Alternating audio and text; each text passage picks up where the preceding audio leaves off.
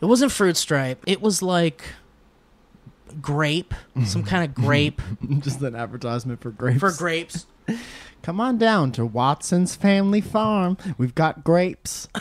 I, lo- I loved it because it just was so warm. Look at how raw it is. it was just a warm commercial. what an honest commercial. And it was like there was this old lady who got shot up into the ceiling because she ate the gum. Here, let me see if I can find it. Oh, it's just pulling up the grape stomping lady that goes, ooh.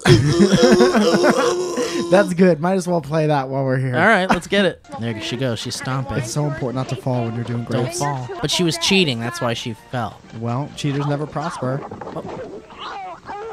Yeah. Oh, I can't. Ow, ow, ow. Oh, stop. Oh, stop. Oh, Ugh. No. Oh, dear. Oh heaven. Oh no. Oh boy. It really looks like Karen's upset. Hey, Gosh, I hope she's okay. No. Yeah, I do too. Listen to how awkward they are about it. we'll be back right after this.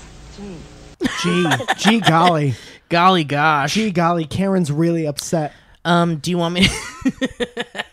Gee Willikers. Gee she fell off that platform. She and must be boy, upset. Boy, does Karen have a bee in her bonnet about this. We got live footage of Karen having a rough day.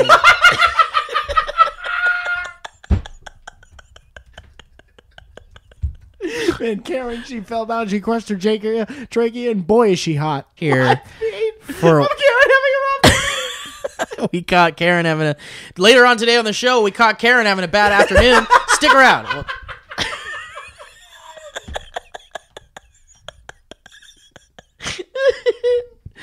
Have you ever had a bad day? Well, we caught Karen in one. Later on, you'll find out.